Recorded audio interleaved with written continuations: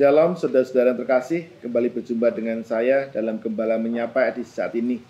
Dan menemani saudara dalam menjalani kehidupan, mari bersama kita menghayati firman Tuhan yang saat ini melalui pembacaan dari Mazmur 29 ayatnya yang pertama sampai dengan yang ke-11.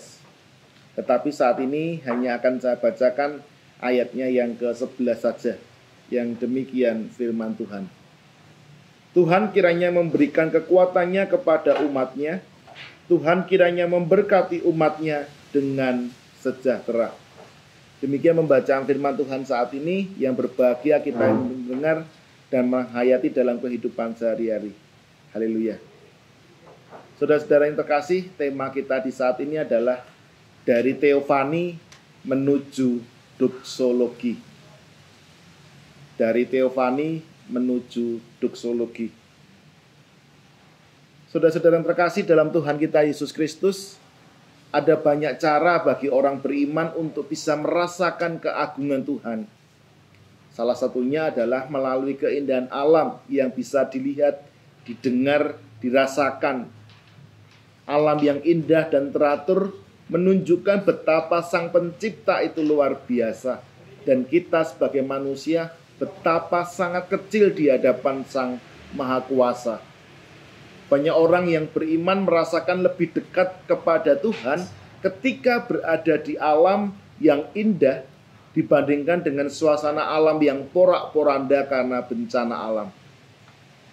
Saudara-saudara terkasih, pemazmur juga merasakan keagungan Tuhan yang begitu luar biasa dalam keindahan semesta ini Perhatikanlah unsur-unsur yang dipakai oleh sang pemazmur dalam bacaan kita saat ini. Ada air, guntur, pohon, gunung, padang gurun, rusa betina, hutan, dan bahkan air bah. Melalui unsur-unsur alam itu, suara, kehadiran, dan karya Tuhan begitu mampu dihayati oleh umat Allah terkhusus oleh pemazmur. Inilah dalam bahasa teologis disebut sebagai teofani.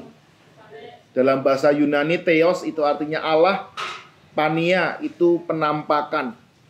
Tuhan yang menampakkan dirinya dan mewujudkan karya penyelamatannya melalui alam semesta ini.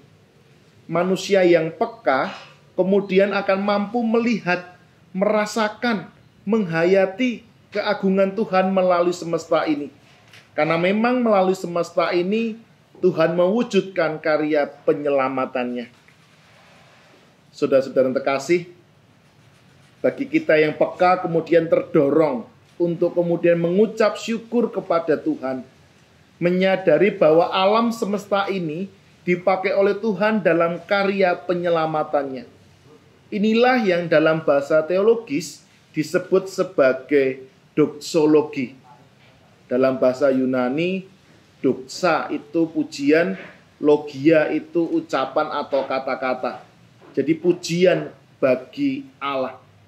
Jadi keagungan Tuhan dirasakan umat melalui peristiwa teofani, penampakan Tuhan yang kemudian mendorong umat memunculkan apa yang disebut dengan doksologi umat atau pujian dari umat kepada Allah dari teofani menuju doksologi. Saudara-saudara yang terkasih, teofani tidak hanya berbicara melalui alam semesta. Kita sebagai orang-orang Kristen meyakini bahwa teofani itu berpuncak pada kehadiran dan karya penyelamatan Yesus Kristus di dunia ini. Melalui Yesus yang tersalib, kita melihat teofani Sang Bapa yang mengasihi manusia Sakramen perjamuan yang sering kali juga kita terima mengajak kita semuanya untuk mengenang Teofani Sang Bapa melalui Sang Putra yang tersalib. Teofani Sang Bapa melalui Sang Putra itu membawa kasih, pengampunan, dan juga damai sejahtera bagi umatnya. Itulah sebabnya kita kemudian saat ini diajak untuk bersyukur ketika nanti kita kemudian masuk dalam penghayatan diri kita masing-masing, maka teofani ini memampukan kita untuk senantiasa mewujudkan doksologi pada keagungan Tuhan.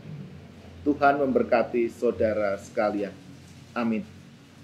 Saudara-saudara yang terkasih, sebelum kita berdoa, mari kita mendengarkan kesaksian pujian yang berikut ini. Selamat menyaksikan.